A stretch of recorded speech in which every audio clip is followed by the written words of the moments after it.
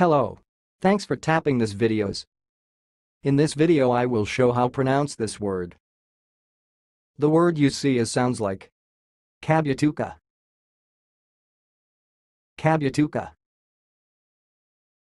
Right, I will repeat one more time. Kabutuka. Kabutuka.